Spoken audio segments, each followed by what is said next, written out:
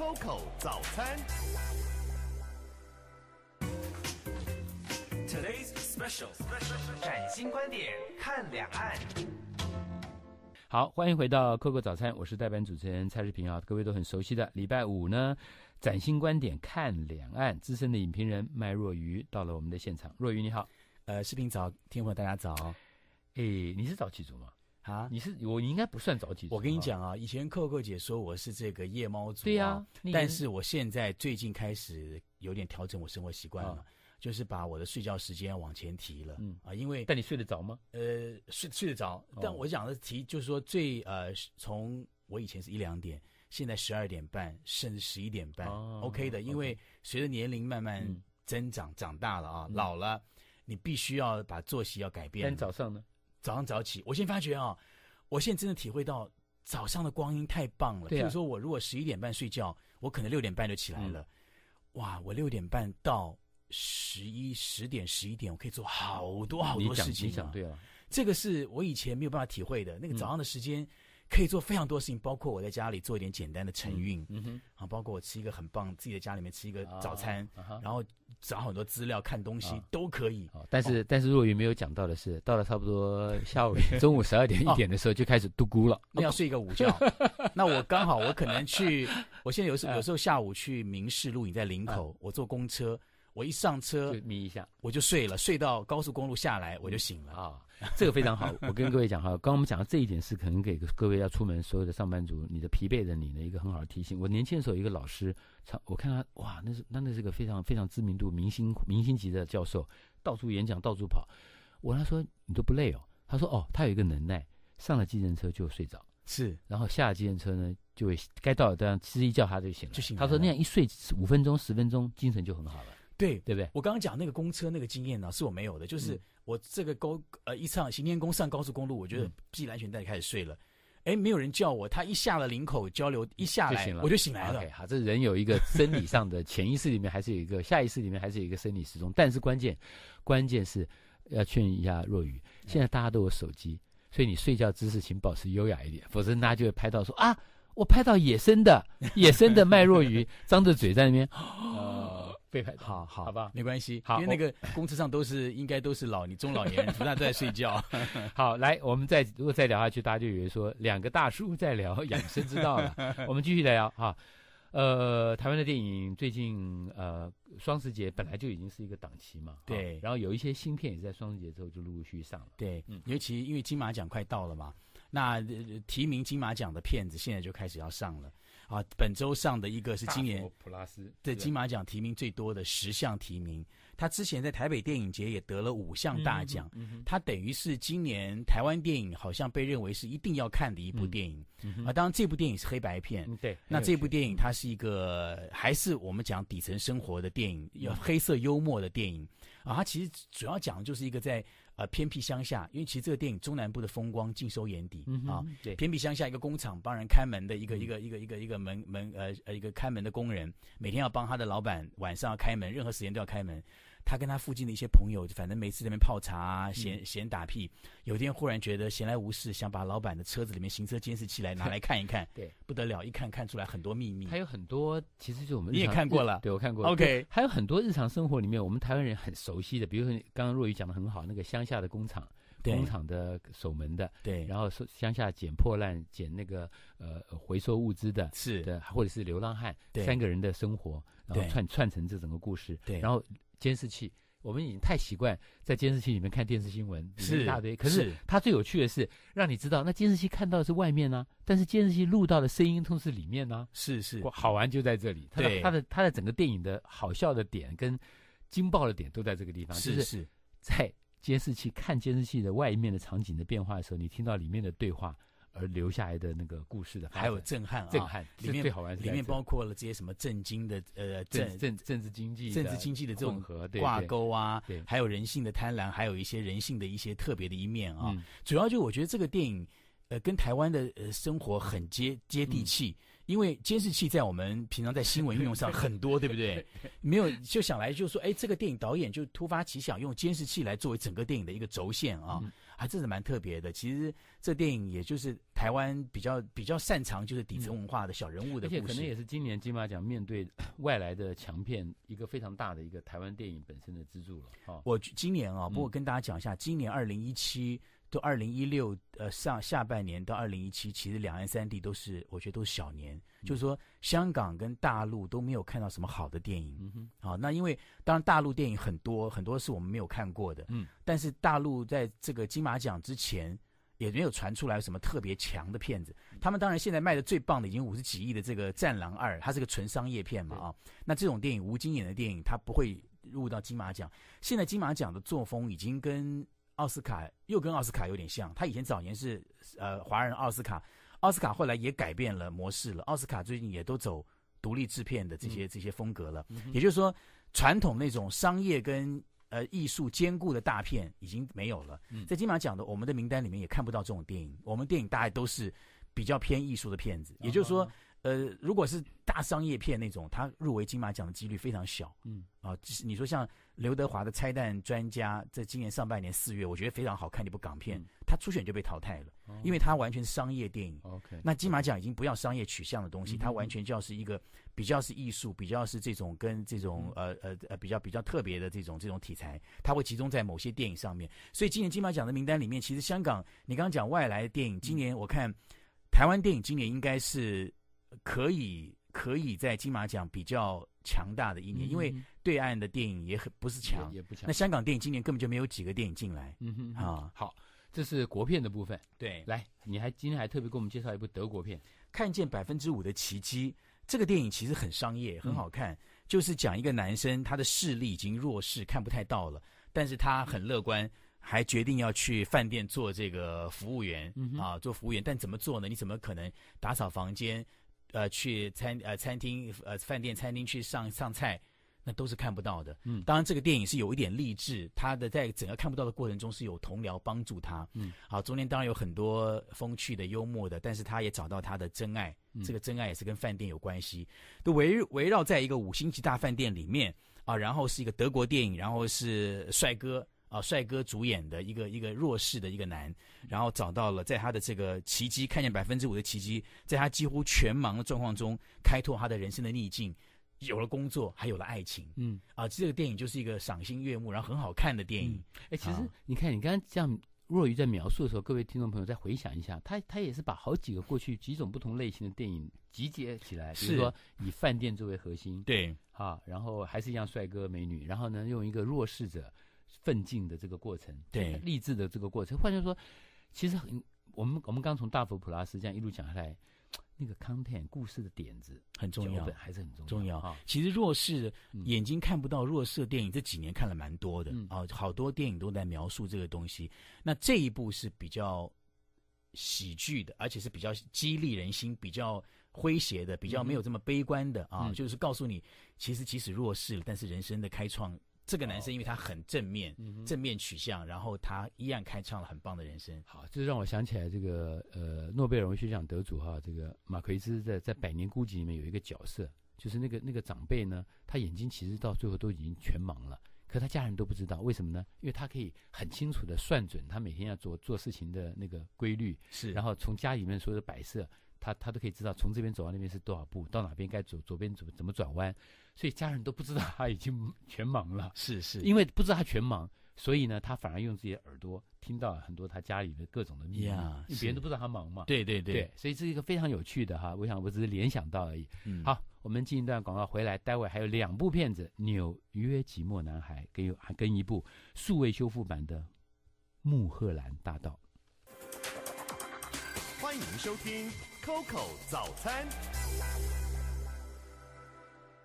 好，欢迎回到 Coco 早餐啊！我是代班主持人蔡志平。刚好我跟麦若愚在中间这个广告时间，我们看到电视新闻在播，哎，《欲望三》《欲望城市三》要拍，然后又说突然喊卡，然后刚好若愚跟我讲说，哦，那是电影版的。嗯，好，我们为什么从这个话题转过来呢？下面这部电影《纽约寂寞男孩》，对，里面有个卡斯，还就是《欲望城市》里面四个女生之一啊啊。。如果是以啊纽约作为一个背景的话，各位刚刚看想到那个欲望城市的话，那你想想看，是男人男孩，这部电影叫做《纽约寂寞男孩》。哎，这个嗯电影很纽约、嗯啊！这个电影讲的就是一个年轻人，大学刚毕业，对写作充满了兴趣，找不到人生方向。结果在他的恋爱跟他的过程中，他发现了家族里面父亲出轨的秘密啊！这是一个上流社会、中产阶级上流社会，嗯而且重点是这部电影为什么要？这部电影已经上映了啊！那为什么跟大家推荐呢？这部电影的卡斯真太多了。嗯演爸爸的是皮尔斯·布罗斯南，嗯，演妈妈的辛西亚·尼克森就是《欲望城市》四个女生之一。哦，对对对，辛西亚，但这个女生嗯她后来真实人生中她是 lesbian 哦，是蕾丝边啊。嗯那杰夫·布里吉，老牌演员，老牌演员啊，是演一个神秘的呃这个这个男子，这个嗯男子跟这个男主角有一点关系。凯特·贝琴赛啊，我不知道是你熟不熟？哦我知道，永远吸血鬼的这个对对对打对抗这个女的很漂亮哦，对对对很漂亮，应该是一嗯个英国女明星。我跟你讲，她非常漂亮，嗯她到她在这个里面啊，明艳动人，是一个介入家庭的小三。嗯，好，那这个小三后来不但跟父亲，跟儿子也发生了关系。这个演儿子男主角啊，是一个新人，叫卡伦·透纳。嗯，这个男生呢，我其实不认识他。我第一眼看到他的时候，并并不起眼，在这戏里面，我觉得这个男的，这个电影戏份这么重，怎么找了一个 这个不起眼的男生来演呢？嗯哼，后来越看越看越看越有味道。嗯，那然后后来发觉，原来导演找这样的一个演员，就是他就是要一个白纸，因为他要面对这么多的嗯这个大明星，他想找一个白纸。那我觉得现在好莱坞出现了很多这种新的男生、新时代男生啊，太多了，因为竞争非常激烈，还真的有一些是蛮有潜力，但是这些演员要靠好多好多时间才能堆砌成为一个大明星。嗯但这个电影主要就是我觉得第一个纽约上流社会啊、赏心悦目，然后大明星如云啊，看到凯特·贝金赛，看到这个皮尔斯·布罗斯南这些大明星。很过瘾，然后整个电影是好看的，因为讲的就是一个家族的家族的故事，嗯哼哼父亲跟儿子之间，然后跟妈妈，然后跟外遇小三之间，还有儿子真的一个一个一个一个身世啊，反正这个电影就是一个一个大卡司，而且这种卡司现在这种卡司很少见了嗯哼，啊。那这样的电影好好看对好看的电影，好，这是纽约寂寞男孩，这这也这个这个故事也是很有意思的、啊。就你看，刚刚在若愚的呃这个呃快速的跟各位讲这个剧情的时候，我们这种写作人就很容易去联想到，你看他还是从一个人一个有点像是一个旅程一样，透过某一种旅程、意外的旅程，然后发现了自己整个的家族的秘密。是那这种发现其实回过头来是认识自己嘛，是是是，重新认识了重新认自己。自己，对啊，好，下面这部就很棒了。大家，大家，呃，有一点年纪的资深的朋友们，对这个导演一定很清楚，因为他当年的几部电影都非常的具有诡异的风格，就大卫林区，对啊，David Lynch。对，现在呢，二零一七年九月二十九号，他的这一部呢数位修复版的《木荷兰大道对，》要重新推上来了，对，而且片长两个多小时。对，其实最近啊，台湾、台北、台湾啦，正在演大卫林区的带类似像回顾展，嗯像这个双峰啊，像这个橡皮双头金狂都在演，嗯但是木荷兰大道是非看不可的。嗯啊，这个电影我跟你讲，因为我最近重新再去看了，其实啊，最近开始演好多数位经典修复的电影，嗯，啊，什么窗外有蓝天啦。还有之前这个这个修呃修格兰演的这部同志片叫什么？我忘了，这不一下忘了片名。嗯很多这种苏菲修复版电影，然后你去看了会发觉啊，哇，比现在演的好莱坞电影大部分都好看。因为好莱坞电影、现代电影大部分都是英雄电影，嗯啊，暑尤其暑假档，现在已经不是不止暑假档了，都是英雄电影占满了全部的档期，啊，都以英雄为主。真正有内涵电影或者有艺术创新电影很少了，要等到奥斯卡的季节。嗯，那你去看这个《穆荷兰大道》，你就发觉哇，这个电影它当然讲的是一个，这个是纳欧米华兹这个演员，现在大家知道很熟了，这个演员现在很大咖了，但当年这是一个新人，嗯哼，啊，他演的这个女主角的角色。那这个电影里面也有很多的演员，那当然都是比较老一辈经典的演员。嗯那这个电影讲的是一个女生要去闯好莱坞的一个这样的一个故事，但整个的叙事手法跟导演的这个拍法都是不寻常的，都是不用常常轨的。也就是说，我跟你讲，我前段时间去看啊，我看前我就是上个礼拜去重看重看，我其实一个礼拜之间看了两遍。嗯我重看第一遍的时候，一开场这些电影整个的这些走走法，整个的演员就被我就被吸引住了，因为他讲的是好莱坞的这些故事，嗯所以很兴致盎然。可是因为片子很长，嗯我那天看了连看第三部电影，这是我的第三部，嗯所以我精神不济了。到最后的二十分钟左右，我眯了一下，等我眯了一下醒来以后，我完全看不懂了。嗯，就是我前面已经看了，我前面看两小时的整个逻辑，到最后二十分钟的结尾是跟我前面看的完全不一样的。嗯我觉得怎么会这么奇怪？我就很很很很很很气馁。然后我想怎么办呢？我要再去重看一遍吗？那这个短期之内重看第二遍的经验对我讲太少了，几乎是没有。我没有短期之内去重，我电影很少看第二遍，因为我没有时间嗯。那短期之内叫我再去看一个两小时的电影，对我讲又是更大的一个一个打击，花太多时间了。可是我那天我不信邪，因为我觉得我就要知道他到底怎么回事，因为我我怎么可能现在还有电影让我会这样子翻转我看不懂的？我昨前两天又去看了第二遍，哇，我又又又把它看完，而且那个那个关键点我知道我不能再眯了。果然我看懂了，可是我我跟你讲，可能很多人还是看不太懂，因为嗯这个叙事方式太大胆了。如果当年来讲啊，那个年代跟现在年代来讲，现在也没有导演会走这种手法了，就是它完全是一种一种风格，是让你自己去想，然后让你自己，他不提供答案的。嗯。啊，那这是很很很厉害导演，相信导演也不会告诉你答案。对我来讲啊，我因为电影跑了三十年，我不会去找答案的，嗯。我不会去上网找导演要告诉你什么，因为我嗯。大概知道，因为我采访过无数大导演，嗯。通常来讲，导演不会告诉你答案，导演就是告诉你自己去看，你心里想什么就是什么。其。实这最好的创作就是对对对对对。我已经创作完了，你怎么诠释，那是对怎么理解是你的事。是是是对是。是你刚刚讲的那一部，呃，是莫瑞斯啦，莫里斯的情人啊，。好看，当年太棒了。当年休格兰还是一个非常生嫩的对新人嘛，是对，我我当时看了那个《莫里斯情人》，我发觉天他们哪两个男主角呃很有威威尼斯影展双赢双赢双男主角哎，，另外一个男的后来就不见了，后来就我对查资料不见了当年很棒哎，他们两个人当年那那男的演的很好哎，非常好。我看他才会双双男主角的影影帝嘛，对双影帝。你这个电影几十年前，你现在在看，你就发觉天哪，那这个现在的几一二十年同志电影拍不过这对部的对对，你讲的没错。而且那个 Morris 的情人，各位有机会可以找一下这个 DVD 来看啊，他还是非常的动人。因为当年我在呃我呃我的节目中讲过，我去看完以后回来想，我当年读萧乾的《未带地图的旅人》，那嗯是一九八几年的时候，就是大陆的那个老作家是萧乾，他留英的，他在他的《未带地图的旅人》这个回忆录里面就讲过，说当时他认识那个某写莫里斯情人的情这个人的作者。哦 Foster，他呢，那个男的给他把他带到他家里去，给他看了这个小说的原稿，跟他说这个小说要五十年之后才能发表。然后那时候萧乾在里面讲，我印象非常深刻，因为我后来想说，哎，我我几十年前看了那个第一次看那个莫瑞斯情人的时候，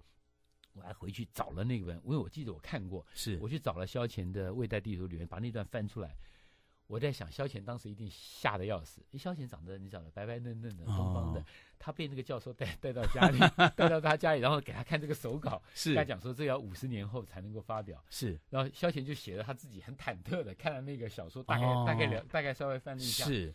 对，那表示的原作者认为当时太前卫了太，前卫了，是前卫啊。哦他他知道不可能发表，所以他是他在他死后，后来那个那个呃解禁了那五十年，就他自己的时间到了，电影公司才把买下版权。哇！三十年前拍那部电影，这个我看过《莫里斯情人》之后，我就发觉这是真的同志片的太经典了。那非常非常，你看他当时讨论的所有的同志的议题，大概在二三十年来都发生了。都发生了，都发生了。反复在讨论的，就是一个人要不要真诚的面对自己的性别对，认同，要不要真诚的面对爱情这件事，还有歧视，还有歧视这些东西。那中间就讲了很多，还有啊阶级啊，对，所以太多了。如果有机会啊，今天在我们讲的这个四部电影之外，回头再想一想，也蛮有意思。哎，你刚才有讲一个重点，像你看了这么多的电影了，嗯有时候回头来再看台湾的电影好了。嗯，嗯，我你怎么看待台湾电影？我的意思说，刚好我们有一个闲聊，就是说台湾那边电影市场其实没有那么蓬勃，对，再加上我们的电影市场的口味基本上是比较文人取向，或者或者文青取向，是知识分子取向了，对或者作者论取向，对所以我们的电影类型没有那么丰富。是，这所以就这就使得我们在判断电影的时候，其实不像在 别的国家，比如在美国或对者是在欧洲，你的电影的类型够广，是是，所以一个喜欢电影的人，其实他在他成长的过程中，他几乎所有类型都碰过。对。嗯其实我后来我发觉，从从这几年来看呢、我们也不要那么的好，不要说好大喜功或好高骛远，我们也不要去想要跟嗯韩国、跟呃这个美国、跟日本一样有有这么丰富的就算了，因为没办法了，因为你不需要了。其实你从今年看起来，今年我们其实上半年有很好的一部商业片叫《目击者》，啊，他也提名了金马奖五项嗯。然后下半年我们有一个这个我们最会拍的小而美的大佛普拉斯，嗯我觉得这样可以了。然后你反过来，你再看看，其实看看金钟奖之前啊，金钟奖现在很多电视电影，呃呃，这个迷你剧集对，，没有距离。其实它你看现在电影跟这个已经重复了。今年金马奖里面有一部川流之岛》是去年金钟奖的电影，也是呃今年台北电影节得奖的电影。然后现在金马奖又提名了，影星又提名女主角。她去年金钟奖已经拿过金钟奖的女主角了。哦，那也电视电影，电视电影，也就是说，我们台湾现在强的可能就是这种电视电影、迷你剧集，或者是小而美的大佛普拉斯这种小成本的电影。如果你要拍商业片，可能就只能做到像《红衣小女孩二》或像《目击者》，是同一个导演陈伟豪，他这种导演一直在研发这种所谓的商业类型、悬疑惊悚类型的也不多，就他一个人，目前成功就他一个人。那你就觉得说，其实差不多就这样子，把这些东西顾好。而且我现在发觉更多的电影导演啊，一两部之后，他就去开始专注于电视电影了，就走向电视圈了，开始在金钟奖上发光发热。你看今年金钟奖得奖的这些导演，全是。拍过电影的一两部电影，然后没红或怎么样的导演，哦，那其实大概你会看这个格局就这个样子。其实这样也蛮不错的，也还好，也蛮不错的。就是这样交互的作用的话，一方面刺激了电视的产业，一方面回过头来也让那些电影导演他可以用小一点成本在电视电影上面崭露头角。是，好，感谢麦若愚，待会回来。